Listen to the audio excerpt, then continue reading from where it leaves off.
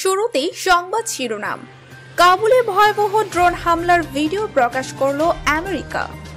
ডাকাতি চিন্তায় রুখতে পুলিশকে নতুন পোশাক দেবে তালেবান। ব্রাহ্মস সুপারসনিক মিসাইলের নতুন ভার্সনের সফল পরীক্ষা চালালো ভারত। ভারতে বেকার পাঁচ কোটি তিরিশ লাখের বেশি মানুষ। এবার নিজস্ব ক্ষেপণাস্ত্র প্রতিরক্ষা ব্যবস্থা তৈরি করল তুরস্ক।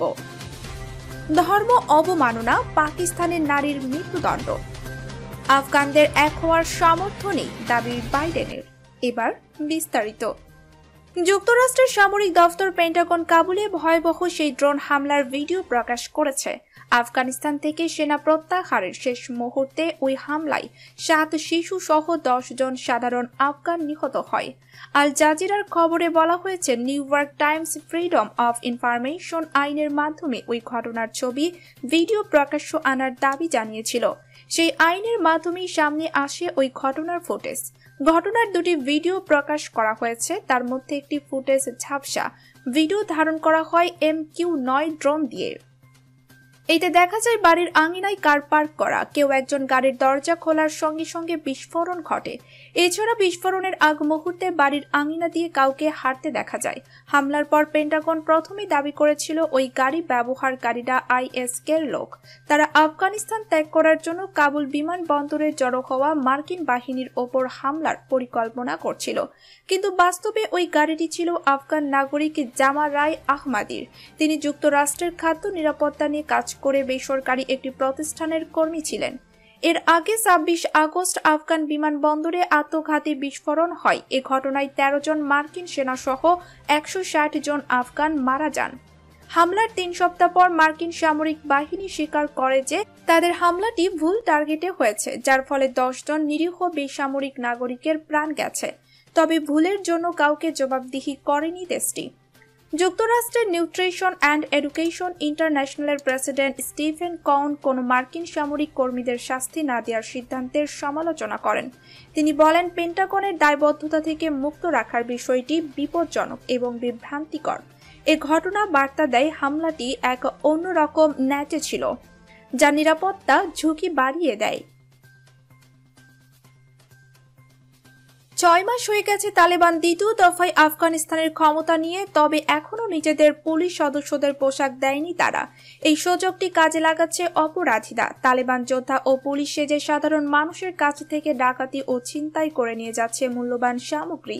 বিষয়গুলো মাথায় নিয়ে দ্রুত পুলিশ সদস্যদের পোশাক দেওয়ার কাজটি শুরু করতে যাচ্ছে তালেবান সরকার।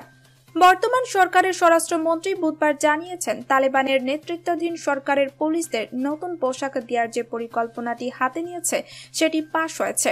স্বরাষ্ট্র মন্ত্রণালয়ের মুখপাত্র ইঞ্জিনিয়ার ইজাম জানান, এক সপ্তাহ আগে এ বিষয়টি মন্ত্রী পরিষদে পাঠানো হয়। এখন এটি পাশ হয়েছে। খুব দ্রুতই পোশাক তৈরি করে তা বিলি করা হবে পুরো আফগানিস্তানে। ইঞ্জিনিয়ার ইজাম আরও জানিয়েছেন, আগের সরকারের আমলে পুলিশের পোশাক যেমন ছিল, নতুন পোশাকও অনেকটা এমনই থাকবে, খুব বেশি পরিবর্তন দেখা যাবে না। ভারতের অন্যতম শক্তিশালী ক্ষেপণাস্ত্র হল ব্রাহ্মস ভারত ও রাশিয়ার যৌথ উদ্যোগে দুই হাজার পাঁচ সালে তৈরি করা হয় এই মিসাইল। বৃহস্পতিবার দেশটির ওড়িশা উপকূলে ব্রাহ্ম সুপারসনিক মিসাইলের নতুন ভার্সনের সফল পরীক্ষা চালায় ভারত। ক্ষেপণাস্ত্রটির নতুন প্রযুক্তিগত আপডেট করা হয়েছে। ভারতীয় নৌবাহিনীর অন্যতম শক্তি এটি। এবার সেটিকেই নতুন প্রযুক্তিতে আরও শক্তিশালী করে তোলা হয়েছে। এই ক্ষেপণাস্ত্র চারশো পঞ্চাশ কিলোমিটার দূরের লক্ষ্যে আঘাত হানতে পারে। শব্দের চেয়েও দ্রুত গতিতে লক্ষ্যের দিকে ধেয়ে যায়। সম্প্রতি ফিলিপাইন্সের প্রতিরক্ষা মন্ত্রণালয় ভারতের থেকে ব্রাহ্মণস কেনার জন্য চুক্তি করেছে সূত্র হিন্দুস্তান টাইমস। দু হাজার একুশ সালের ডিসেম্বর মাস পর্যন্ত ভারতে বেকারের সংখ্যা অন্তত পাঁচ কোটি তিরিশ লাখ। এদের একটি বড় অংশই নারী, যাদের অনেকে কাজ করার ইচ্ছা থাকলেও কোনো কারণে চাকরি খুঁজছেন না। বৃহস্পতিবার সেন্টার ফর মনিটরিং ইন্ডিয়ান ইকোনমির বরাতে এ তথ্য জানিয়েছে ভারতীয় সংবাদ মাধ্যম দি ইকোনমিক টাইমস। সিএমআইই জানিয়েছে, ভারতে বেকারদের মধ্যে সাড়ে তিন কোটি মানুষ চাকরির জন্য আপ্রাণ চেষ্টা করছেন। আরও এক কোটি সত্তর লাখ মানুষ কাজ করতে আগ্রহী হলেও খুব একটা জোর দিয়ে চাকরি খুঁজছেন না। সংস্থাটি তাদের সাপ্তাহিক বিশ্লেষণে বলেছে ভারত সরকারকে অবশ্যই কাজের খোঁজে থাকা সাড়ে তিন কোটি মানুষের জন্য তাৎক্ষণিকভাবেই চাকরির ব্যবস্থা করতে হবে। বাকি এক কোটি সত্তর লাখ মানুষ যারা কাজ করতে আগ্রহী কিন্তু চাকরি খুঁজতে জোর দিচ্ছেন না, তাদেরও কর্মক্ষেত্রে নেওয়া বড় চ্যালেঞ্জ। সিএমআইই এর তথ্য মতে দু হাজার একুশ সালের ডিসেম্বরে ভারতে যে সাড়ে তিন কোটি মানুষ সক্রিয়ভাবে চাকরি খুঁজছিলেন, তাদের তেইশ শতাংশ বা আশি লাখই নারী। এছাড়া চাকরি করতে আগ্রহী কিন্তু খুঁজতে না নামা মানুষদের মধ্যে নারীদের হার তেপ্পান্ন শতাংশ বা প্রায় নব্বই লাখ। সংস্থাটির মতে, এত বিপুল সংখ্যক নারী কাজ করতে আগ্রহ থাকা সত্ত্বেও কেন চাকরি খুঁজতে নামছেন না, তার কারণ খতিয়ে দেখা উচিত। এর জন্য চাকরির স্বল্পতা নাকি চাকরিতে যোগ দেওয়ায় নারীদের পক্ষে সমর্থনের অভাব দায়ী তা দেখতে হবে। নিজেদের তৈরি ক্ষেপণাস্ত্র প্রতিরক্ষা ব্যবস্থা হিসার ও প্লাস সেনাবাহিনীর হাতে তুলে দিল তুরস্ক। বৃহস্পতিবার আনুষ্ঠানিকভাবে এ ক্ষেপণাস্ত্র প্রতিরক্ষা ব্যবস্থা দেশটির সেনাবাহিনীকে দেওয়া হয়, ডেইলি সাবাহর। খবরে বলা হয়, হিসার ও প্লাস মূলত কম উচ্চতায় ছোড়া ক্ষেপণাস্ত্র ঠেকাতে ব্যবহারের জন্য তৈরি করা হয়েছে। রাশিয়া থেকে কেনা অত্যাধুনিক আকাশ প্রতিরক্ষা ব্যবস্থা এস চারশো আগেই তুরস্ক সেনাবাহিনীর হাতে তুলে দিয়েছিল।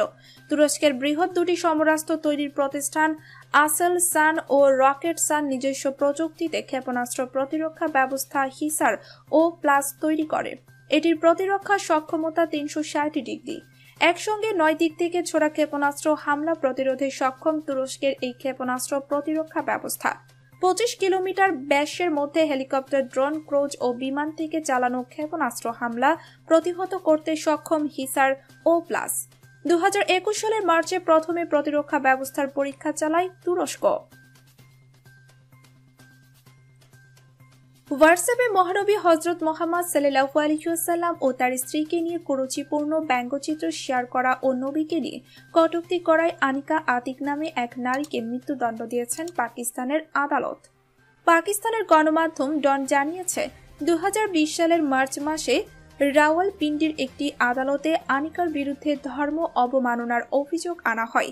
এ অভিযোগ প্রমাণিত হওয়ায় তাকে মৃত্যুদণ্ড দেওয়া হয়। তাছাড়া ধর্ম বিশ্বাসকে অবজ্ঞা করার কারণে দশ বছর ও অনলাইনে ঘৃণা ছড়ানোর কারণে আনিকাকে আরও সাত বছরের জেল দেওয়া হয়েছে। ধর্ম অবমাননার আইনটি পাকিস্তানে বেশ কঠিন। এ আইনে মহানবীকে নিয়ে যদি কটুক্তি করার বিষয়টি প্রমাণ পাওয়া যায়, তাহলে অভিযুক্তকে বাধ্যতামূলকভাবে মৃত্যুদণ্ড দেওয়ার বিধান রয়েছে। আদালত সূত্রে গণমাধ্যম আল জাজিরা জানিয়েছে, আনিকা হাসনাত ফারুকু নামে তার এক ছেলে বন্ধুকে হোয়াটসঅ্যাপে মহানবী ও তার এক স্ত্রীকে নিয়ে বানানো ব্যঙ্গচিত্র পাঠান। পরবর্তীতে ওই ছেলে বন্ধু বিষয়টি পুলিশকে অবহিত করেন।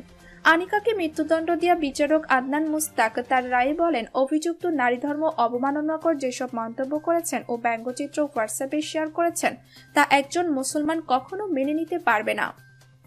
তবে আদালতে আনিকা দাবি করেছেন হাসিনাত ফারুকও তার ওপর প্রতিশোধ নেওয়ার জন্য তাকে ফাঁসিয়েছেন। আনিকার ভাষ্যমতে হাসনাত তার সঙ্গে ঘনিষ্ঠ হতে চেয়েছিলেন, কিন্তু তিনি তার প্রস্তাব প্রত্যাখ্যান করেছিলেন। আনিকা এখন পাকিস্তানের সুপ্রিম কোর্টে মৃত্যুদণ্ডের বিরুদ্ধে আবেদন করতে পারবেন। যুক্তরাষ্ট্রের প্রেসিডেন্ট নির্বাচিত হওয়ার পর জো বাইডেন আফগানিস্তান থেকে তার সৈন্যদের প্রত্যাহার করার ঘোষণা দেন। তার এ ঘোষণার পর তালিবান দ্রুত গতিতে আফগানিস্তানের ক্ষমতা দখল করে নেয়। তবে জো বাইডেন দাবি করেছেন আফগানরাই এক হতে পারেনি। তাদের এক হওয়ার সামর্থ্যও নেই। এ কারণে যুক্তরাষ্ট্র আফগানিস্তান থেকে তারা সরে এসেছে। এরপর তালিবান আবার ক্ষমতা নিয়েছে। ওয়াশিংটনে একটি মত বিনিময় সভায় বাইডেন বলেন, দেখুন, আমরা বিশ বছর ধরে আফগানিস্তানে প্রতি সপ্তাহে বিলিয়ন ডলার খরচ করছিলাম। হাত তুলুন, যদি মনে করেন আফগানদের একটি সরকারের অধীনে একত্রিত করা যেত।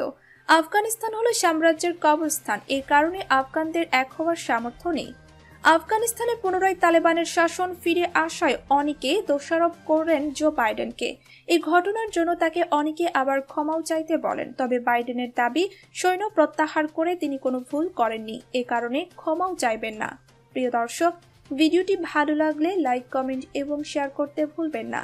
প্রতিদিন আপডেট খবর পেতে আমাদের সাথেই থাকুন। ধন্যবাদ।